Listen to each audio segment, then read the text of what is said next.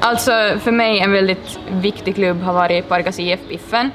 Eh, jag spelade där, jag började spela när jag var sex år i klubben och fortsatte tills jag var ungefär 13-14 år, så ungefär 6-7 år spelade jag där, åtta kanske till och med.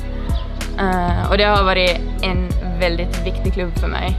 Alltså på planen så fick jag vara eh, den spelare som jag var, jag fick utvecklas i min egen takt och när jag blev bättre uh, år efter år så kände jag ingen press att gå vidare till någon annan klubb utan uh, jag kände mig väldigt trygg i, i Pargas IF, i den klubben och, och just också utanför planen så tycker jag att jag kände att jag fick vara mig själv uh, som person.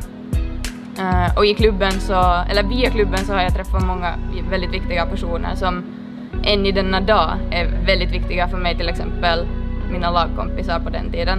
Uh, jag har bra kontakt med dem fortfarande och vi blev som en familj och jag har så många bra minnen från den tiden. Uh, från typ bussresor och turneringar och matcher och alltså allt möjligt. Uh, som vi än idag skrattar åt när vi, när vi pratar om minnen från den tiden. Alltså jag tror att uh, Piffen som förening har varit en väldigt trygghet för mig. Uh, det, var, det kändes väldigt lätt att vara där och som jag nämnde förut så känner jag mig fri på planen och utanför planen att uttrycka mig själv och vara mig själv. Så jag tror att det har hjälpt mig väldigt mycket i min karriär, att jag fick en bra grund i Pargas IF och jag eh, alltså utvecklades i min egen takt eh, som spelare där. Eh, och också just att vi hade en familjekänsla i klubben.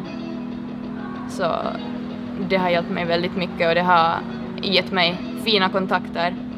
Det som jag minns bäst så är typ eh, bussresorna då vi åkte, då vi åkte på bortamatcher för att då, alltså vi satt typ alla längst bak i bussen uh, runt ett sånt här bord uh, och så hade vi typ musiken helt fullt på, sjöng och alltså vi hade så roligt tillsammans och alltså skrattade var så mycket. Det är typ så här, alltså också nu när jag pratar om det så blir jag typ lite känslosam för att uh, det var så viktigt för mig den här tiden. Uh, och de personerna som jag lärde känna då så är, hör ännu till mina bästa vänner. Uh, och jag vet att jag alltid har dem där. Eh, I Pargas eller var i en världen vi befinner oss så har vi alltid varandra. Jag vill verkligen tacka alla som har varit inblandade i, i min utveckling och i min uh, idrottskarriär. Vare sig alltså det är tränare, spelare och alla människor runt omkring, alla mina familjemedlemmar och vänner.